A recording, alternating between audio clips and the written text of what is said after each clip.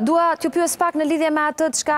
edhe ditën e djeshme kryeministri e konfirmoi një rritje pagash të disa institucioneve, por unë do doja t'ju pyesja nëse parashikon qeveria rritje të tjera në vitin 2023 në paga dhe pensione dhe kur mund të jenë ato, po themi aktive, që prej cilës kohë nisin dhe sa buxhet ka qeveria për të rritur pagat në një periudhë kaq krize, qoftë energjie, qoftë ekonomie.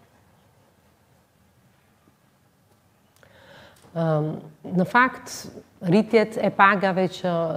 kaluan dje me vendime të Këshillit të Ministrave, mm -hmm. që kryeministri bëri publike mbas mbledhjes së Këshillit të Ministrave, janë pjesë e paketës së rezistencës numër 2 që qeveria ka ndërmarrë uh, për në këtë vjeshtë. Ne na u desh të merrnim një vendim Nëse do të do të ecnim me paketën me një paketë të ngjashme me paketën e parë, e cila kishte karakter të përkohshëm, apo do të merrnim një vendim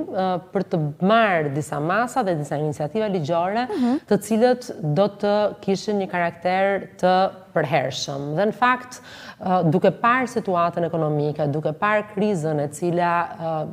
me shumë gjasa do të vazhdojë dhe për vitin e ardhshëm, ne vendosëm të marrim këto masa, pra të rritjes së pagave, të rritjes së indeksimit për herë të dytë të pensioneve gjatë vitit, që është hera e parë që ndodh një situatë e tillë, pra kur ne vendosim të indeksojmë dy herë rresht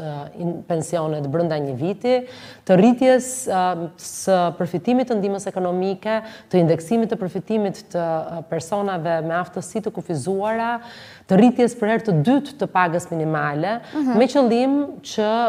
të përmbushnim nevojat dhe deficitin, sadopak deficitin e krijuar në buxhetet e familjeve shqiptare, nga rritja e çmimeve të konsumit. Nuk duhet të harrojmë këtu asnjëherë që në gjithë masat që qeveria shqiptare ka marrë, Masa më e rëndësishme dhe me peshën më të madhe në buxhet për vitin dy mijë e njëzet e dy ka qenë masa e mbështetjes së energjisë elektrike me qëllim që asnjë buxhet i asnjë familje shqiptare dhe asnjë buxhet i asnjë biznesi të vogël shqiptar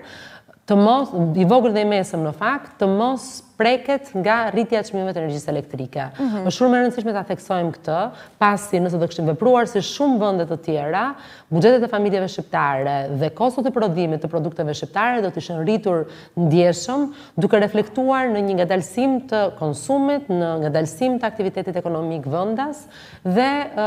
duke mos e mbajtur inflacionin në ato nivele që neve jemi duke e mbajtur, që në fakt është më i ulët se sa vendet e rajonit apo edhe sesa vendet e BE-së. Pra, ne kemi ndërmarrë këtë mix masash, e cila ka efekt për këtë vit dhe do të ketë efekt dhe për vitin e ardhshëm, pas rritjet e pagave janë aty për të qëndruar, rritjet e pensioneve janë aty për të qëndruar dhe kanë një efekt konsiderueshëm në buxhetin e vitit dy mijë e njëzet e tre. Ne kemi bërë maksimumin që mund të bënim duke konsideruar që Shqipëria vjen nga dy kriza të njëpasnjëshme, financat publike vijnë nga dy kriza të njëpasnjëshme të cilat i është dashur, janë dashur t'i përballojë, po ndërkohë që viti 2023 është një vit i cili ka pasiguri të larta që lidhen jo me me situatën ekonomike të vendit tonë dhe çfarë ndodh brenda vendit tonë, po lidhen kryesisht me situatën ekonomike